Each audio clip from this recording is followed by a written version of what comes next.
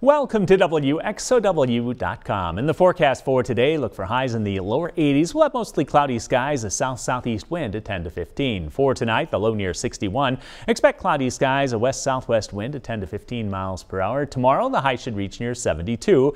A few showers are possible with west-southwest winds at 10 to 18. For the rest of the seven-day outlook, going into Monday, a slight chance of showers, cooling down to near 61 for the high. For Tuesday and Wednesday, moderate chances of rain as highs remain near 60 degrees. Then for Thursday and Friday, partly sunny with highs in the low to mid 50s.